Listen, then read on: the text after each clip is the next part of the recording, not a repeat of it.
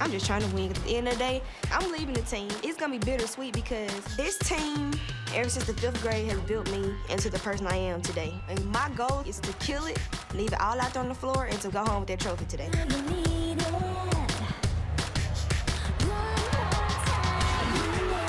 Makalah, she came to play.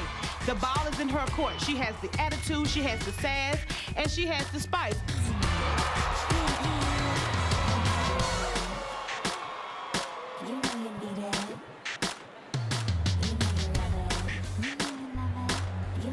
I am not intimidated by the dolls at all. I have zero reason to be intimidated by, by the dolls. If anything, they might want to be intimidated by us. And we most certain that we are coming home with first place trophy.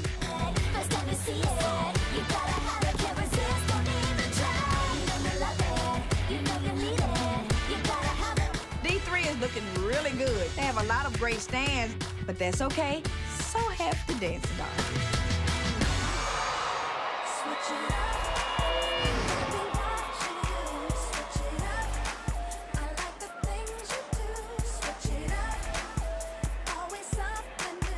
Makalah does a clean before one of our stands, and she takes a really, really long time to complete it. And I'm trying to figure out what is she doing? Is she taunting the other team, or did she just forget?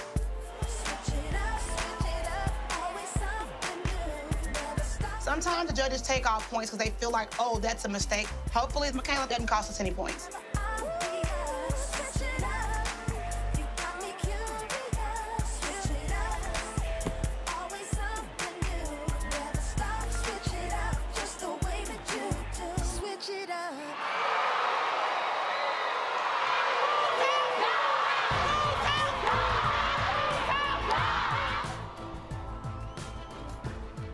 Makalah did a really good job.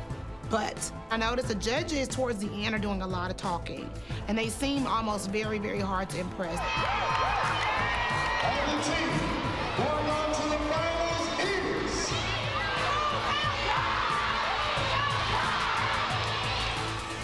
The parents and I were nervous, but yet we made it. Now it's time for the real show. It's gonna be dancing dolls and explosive. We got to go home with the trophy. Good job, y'all. Good job. Makalah, did you forget what to do? Yeah. Cause I was like, what's he doing? Backstage, Makalah does confess that she forgot what stand to throw. She had a brain fart. And I'm like, what the hell was you out there thinking? Because if she had forgot, baby, that would have messed that up. But at the end of the day, the good captain, if they make a mistake, how quick do they recover? Makalah falls right into that.